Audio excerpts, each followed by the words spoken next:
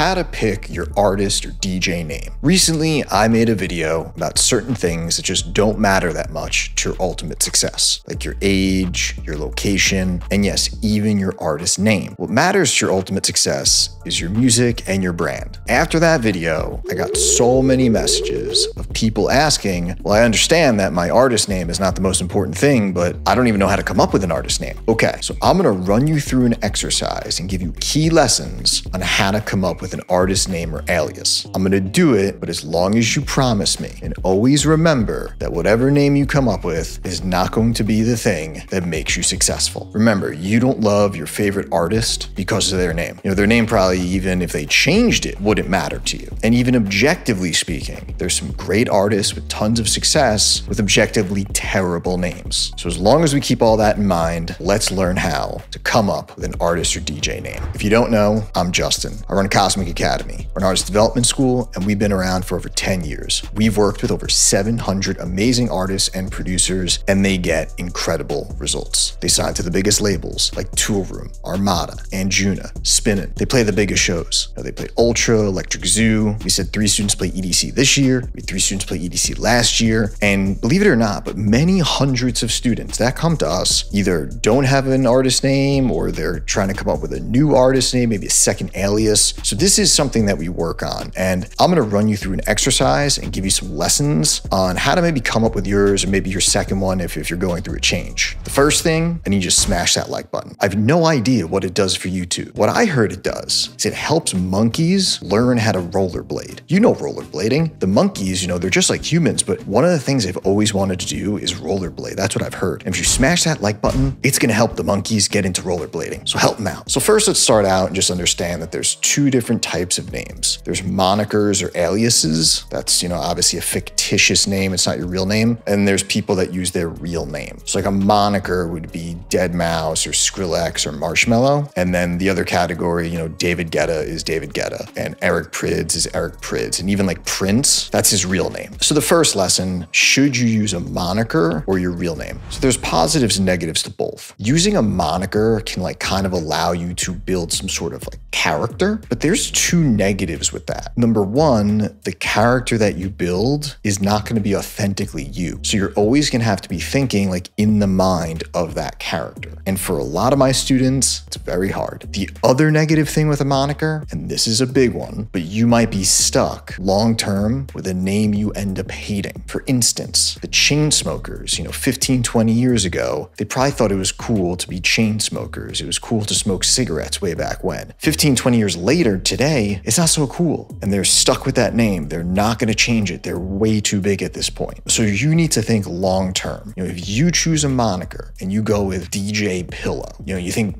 DJ Pillow is really funny and, and you like pillows, but in 10 years, you might hate being called DJ Pillow, but now you're stuck with it. So the safest play is to just use your real name. Like for me, I'm Justin Cohen and my middle name is Sean. So maybe I wouldn't want to use my last name and I would just go with Justin Sean so that in 10 years, I'm still going to wake up and be Justin Sean. You know, it's not like I'm going to wake up and say, oh, I feel like Jeffrey today. No, I'm Justin. That's, that's who I am. That's not going to change. And I can guarantee that. Lesson number two, if you do hate your name, it's because you're so attached to your name. Let me explain. I have so many students and they don't want to use their real name. They've lived with it their whole life and they just can't see outside of it. They think it's dumb. They're so used to it. They don't know why it could be cool. But to an outsider, it could be totally fine. And just going back to the first thing I said in today's video, it also doesn't really matter. Your, your name is not going to dictate if you're really successful or not. So like I'll have a student named Enrique Mario and they'll hate it because they've lived with that name their whole life. But objectively, that's a cool name. There's nothing wrong with that name. It's a great name. But they just can't see that because they're from the inside. So don't look at your name and say it's, it's because it's my name. No, no, no. It could be totally fine. No one's going to care that much. Try to think about it objectively. Lesson three if you're having trouble coming up with a name and you don't like your exact name, use a version of your name. So let me explain. This is one of those popular things that artists do. They take their real name and they just switch it up a bit. You know, they'll change some letters, they'll take some out, they'll add some on. Like Martisian, Garrisian, probably been saying that wrong, is Martin Garrix. Alessandro is Alesso. Axel is Axwell. Or sometimes they'll take like different pieces from maybe a first name and a last name and, and put them together. So like Kygo takes the first part of his first name, and then that's the K, the KY, and then the GO from the part of his last name. So it's okay to like play around with some of the letters, add some, take some away, or maybe you want to use a name from a family member, from your dad, from someone you love. That's that's totally cool as well. And I see that more and more because I have students that will start out with the moniker, you know, they'll come up with the DJ Pillow name, but then that won't be them. You know, that was them three years ago, and they don't think it's cool anymore. They think it's dumb, and they will end up using their name or just a version of their name. You know, when they thought it was so cool to be DJ Pillow, that's because they were in college and they're not in college anymore, and their friends then thought it was cool, and now their friends don't. And like I said, it's way easier to just be you. Lesson number four search engine optimization, also known as SEO. When you pick your name, you want to you want to search it. You you should search it on Google, but more importantly, you should search it on Spotify. Now, go and search your name on Spotify because there might be five other artists with the same name. You know, oh, I like the name DJ Fire, but then you go on Spotify and there's like 10 other DJ Fires. And if you really wanted to be DJ Fire, those other people will be like ranked higher than you. When people search for you, they might not be able to find you. And there's all sorts of problems that can arise. Like for instance, this actually happens a lot, you might run into trouble when you release a song and the label or the distribution service